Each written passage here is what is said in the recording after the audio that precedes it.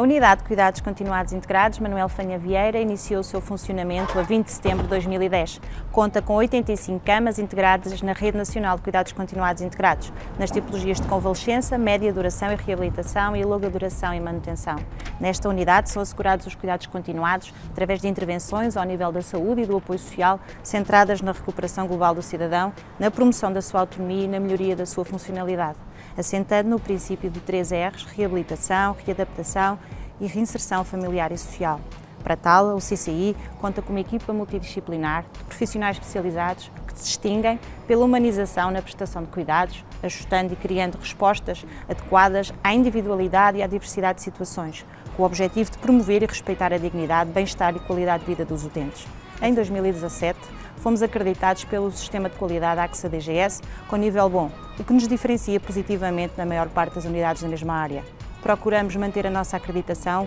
ou ainda elevá-la a nível de excelência. A nossa candidatura surge no comprometimento de anos de dedicação a esta área de cuidados, ainda mesmo antes da criação da Rede Nacional, pelo consideramos ser uma oportunidade de reconhecimento interno e externo da nossa atividade e dar visibilidade ao nosso trabalho desenvolvido.